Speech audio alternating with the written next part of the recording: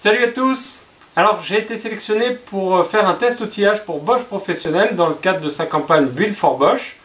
Du coup, je vais tester avec vous la perceuse visseuse GSR 18 VEEC, donc en 18 volts, que je viens de recevoir. Bosch vient de me l'envoyer.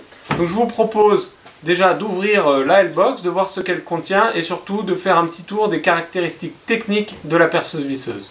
Voilà, donc je vous ai étalé un petit peu tout ce qu'on retrouve dans la box. Donc on a deux batteries qui sont des batteries euh, lithium-ion de 18 volts et de 5 ampères. Alors, euh, sauf, sauf erreur, je crois... Non, ça existe en 6 ampères. Il y a certaines marques qui commencent à faire du 6 ampères, mais actuellement c'est quand même ce qui se fait de mieux en termes de batterie. On a ici un chargeur qui je pense est un chargeur rapide. Euh, je vais le tester pour voir combien de temps on, met à charger une batterie euh, vide. Ici, euh, bah, la perceuse visseuse, mais ça on y reviendra. Une poignée, sa tige qui permet de faire une butée de profondeur. Et également trois sachets, donc le clip ceinture, ici un porte-embout. Et ici, ce sont des petits morceaux de plastique colorés qui viennent se mettre derrière la perceuse afin de différencier euh, les perceuses si jamais on travaille sur un chantier avec plusieurs personnes qui ont le, même outil ou si on a deux fois le même outil et qu'on veut euh, les différencier. Voilà, puis après bah, on a la box et les différents manuels d'utilisation, garantie et compagnie. Mais ça, on s'en fout. Enfin, prenez le temps de le lire quand même.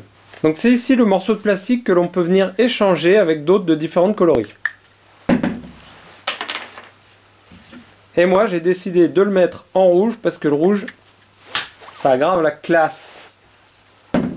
Sinon, on a bleu, noir, gris, ou on peut se laisser celui qui est gris par défaut.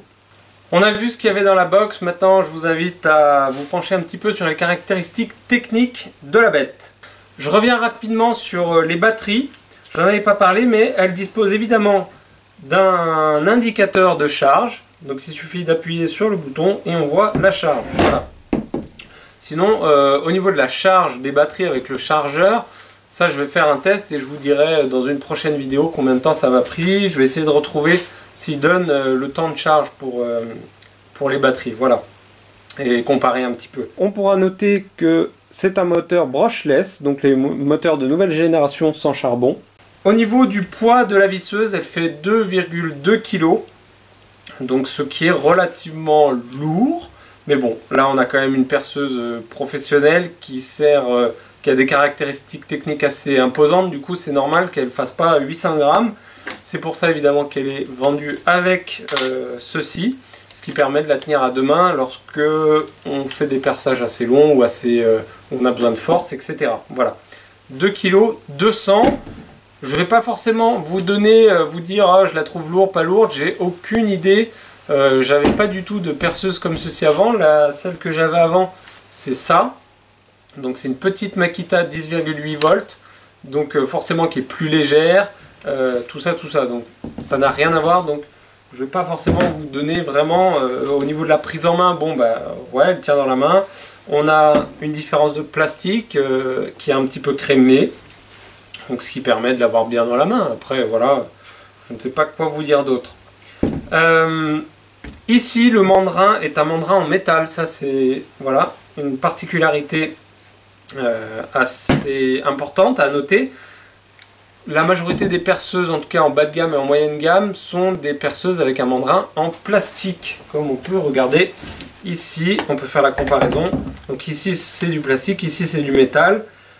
Et donc on voit ben, des fois qu'on arrive à bouffer le, plastique selon comment on, vit. Si on est à côté d'un mur, d'un truc, ben, des fois euh, le plastique ramasse un peu. Voilà, c'est une particularité à noter. On a une bague de réglage du couple qui va de 1 à 25, donc qui est très précise je trouve.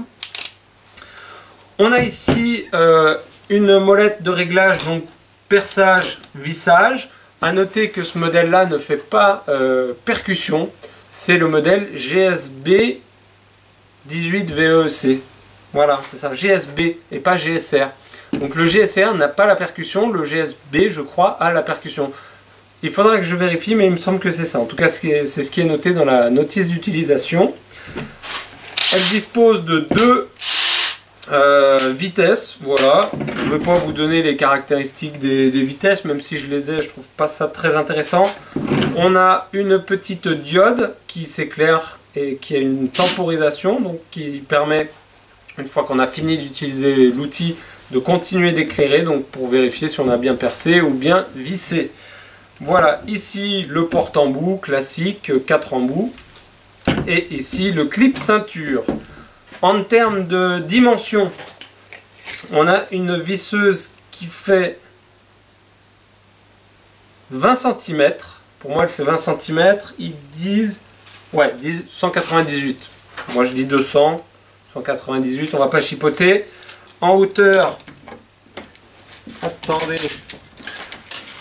en hauteur, pour moi, elle fait un peu moins de 260. Ouais. Donc euh, il donne 255. Ouais, voilà. Donc 20 euh, cm et un petit peu plus de 25 cm de hauteur. 20 cm qui, je crois, est assez court.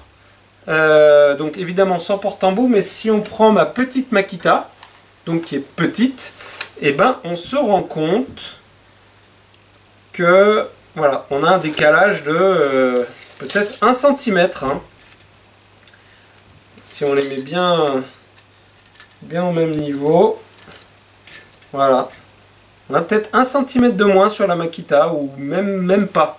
Donc euh, c'est quand même, ici on a quand même une, tête de visseuse qui est assez court, je, trouve, et je pense que ça c'est une grande qualité. Petite particularité, elle dispose de l'option Kickback Control. Qu'est-ce que c'est En gros, de ce que j'ai compris, c'est lorsque la mèche se bloque euh, pour une raison ou pour une autre lors d'un perçage, et eh ben la perceuse est capable de détecter cet arrêt brutal et donc de couper en fait le, perçage, elle arrête de percer. Ce qui permet, euh, ça a déjà dû vous arriver, si jamais la mèche se bloque, eh ben c'est la perceuse qui se met à tourner et donc euh, là ça vous embarque la main et ça peut être assez dangereux.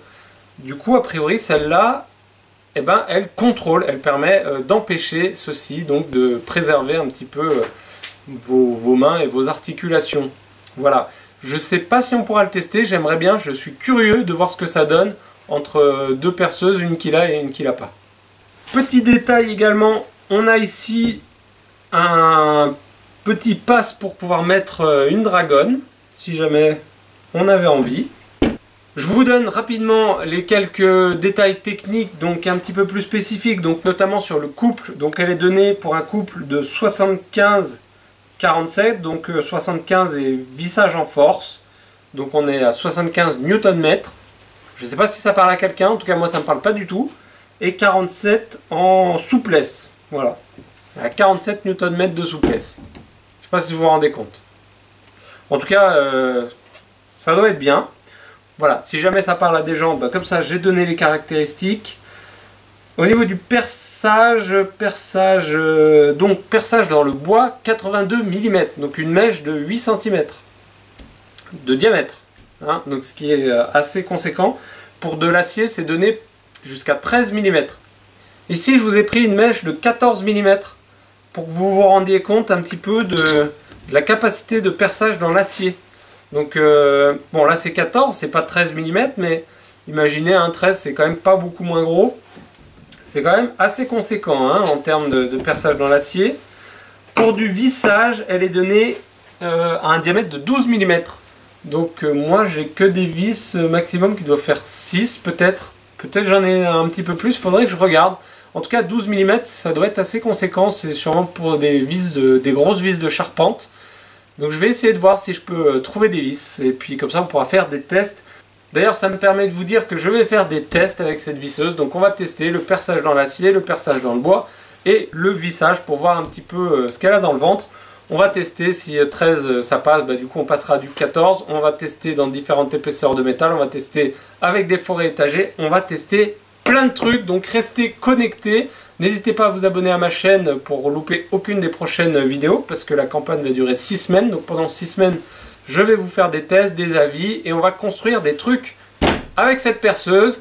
Donc n'hésitez pas à vous abonner et à liker ma page Facebook. Voilà, moi je vous dis à bientôt et d'ici là, bricolez bien. Ciao